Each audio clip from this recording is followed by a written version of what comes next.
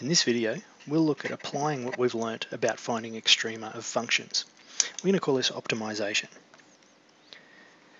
Now that we've got the tools to find maxima and minima of mathematical functions, we can move to some more real-world problems, kind of like the motivating problem for the extrema critical points video, where we talked about the cost of constructing a milk carton depend varying depending on the height of that carton.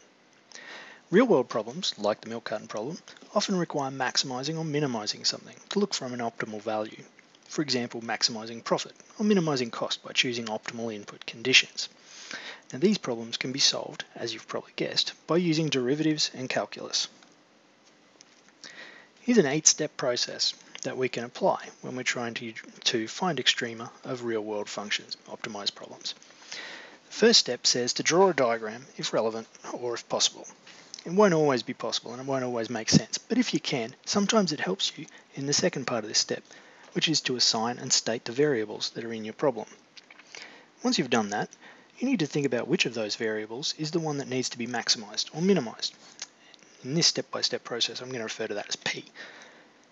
Now using the given info in the, in the question or the problem statement, as well as the diagram you've drawn if you did, you can write an equation for P, a mathematical model if you like, in terms of other variables.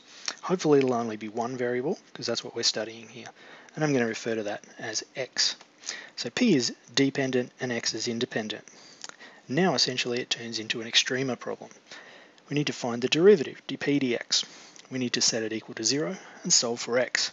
This way we find the critical points, where maxima and minima might be occurring.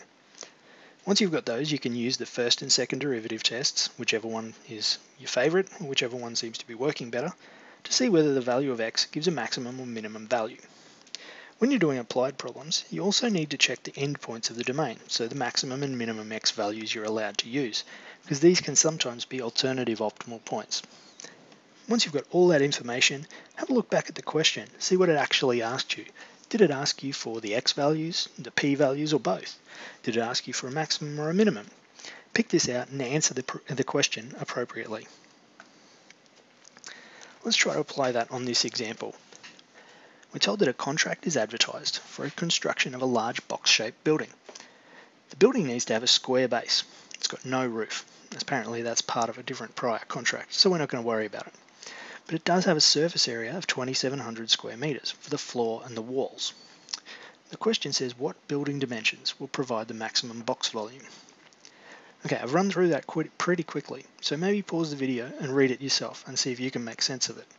Once you've done that, try to apply the first step in the process. That is, draw a diagram and try to pick out what the variables are that we're going to be working with. I've drawn a couple of diagrams so we can see it in different ways. The 3D picture, we've essentially got a square base down the bottom, hidden down here, and some sides to give us, give us some walls. Down here in the 2D picture, it might make a bit more sense. Here's our floor space here.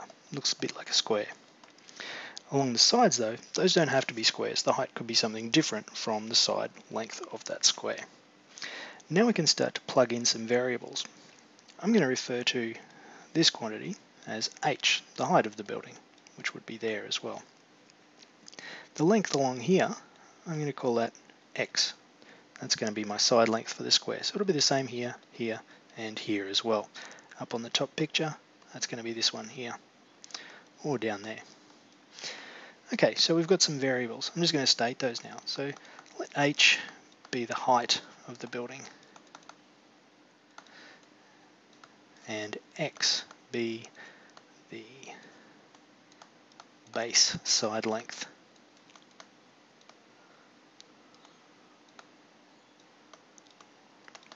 So those are dimensions of our building, x and h. Some other things that we know is that we're talking about surface area here. And we're also asked about the volume of the box.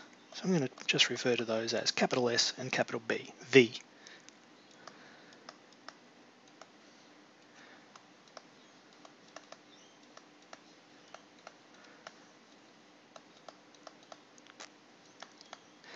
S and V are the surface area and volume respectively of our box. The next step says to determine what needs to be optimized.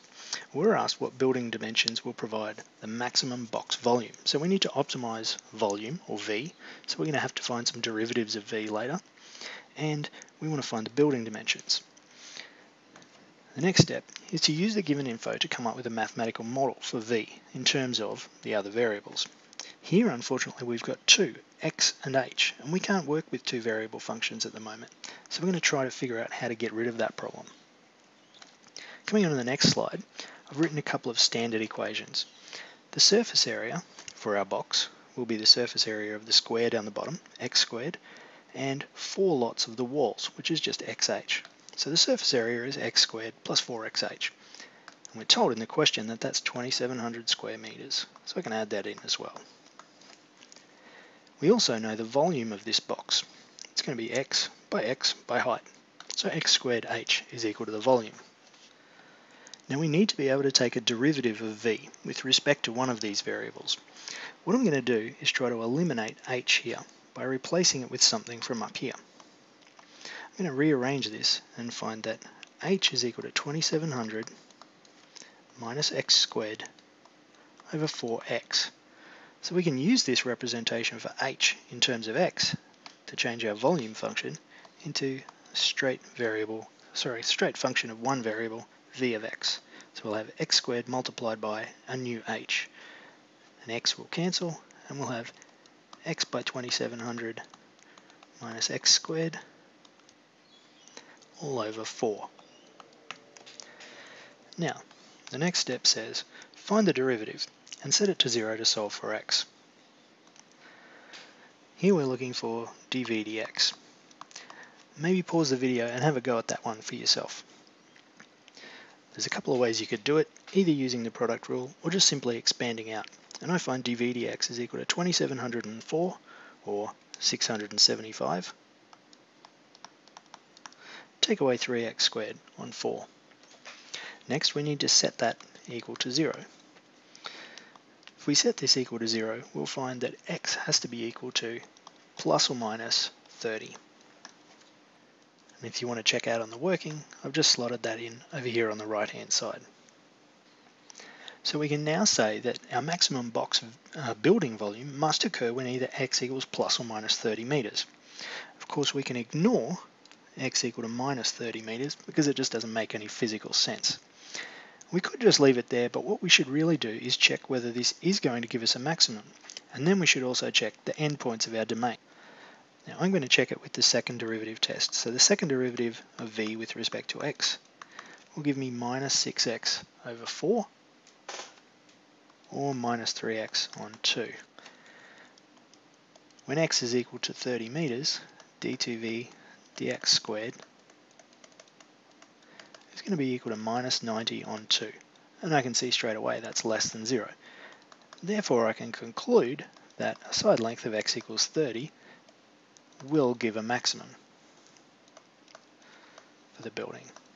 Second derivative less than 0 implies a maximum. Now we should check also the endpoints of the domain, so the endpoints for x. Now x going towards 0 or even minus infinity doesn't make a lot of sense. It's not going to be a very big building. If it goes towards infinity, it also doesn't make sense. We can't build a building like that. So I'm going to stick with what we found from the local minimum, uh, maximum and say that that's the one that's going to give us our maximum building volume. The only thing left then to do is to figure out what h is. To do that, we just substitute the value of x equals 30 back into our equation up here for h in terms of x we do that, we'll find that h is equal to 15 meters.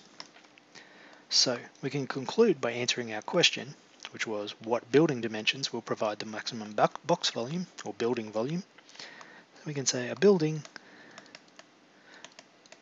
with height h equal to 15 meters and side x equal to 30 meters will provide the maximum volume.